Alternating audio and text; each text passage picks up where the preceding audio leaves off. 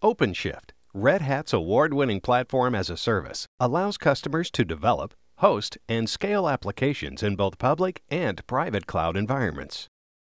With OpenShift's unparalleled flexibility, we provide customers a solution to easily build, deploy, and run applications using a myriad of programming languages and frameworks. Now, taking choice and flexibility one step further, we are collaborating with Uhuru Software to bring Microsoft.NET and SQL Server capabilities to OpenShift as an open source community driven effort in OpenShift Origin. With the addition of these solutions delivered natively on Windows, OpenShift Origin allows you to standardize developer workflows, accelerate and automate processes, increase productivity, and streamline IT service delivery for the entire DevOps environment.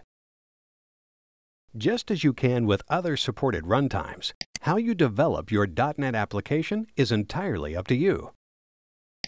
Once the application has been created, it's very simple to add Microsoft databases as well as native Linux databases.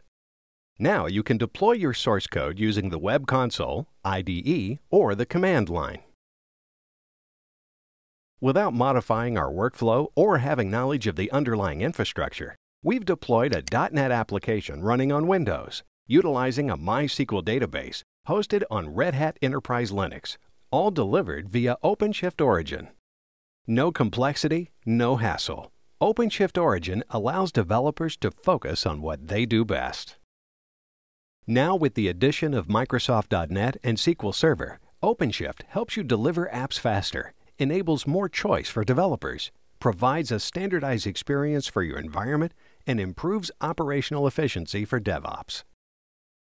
Find out more at OpenShift.com and request access to a technology preview at OpenShift.net at redhat.com.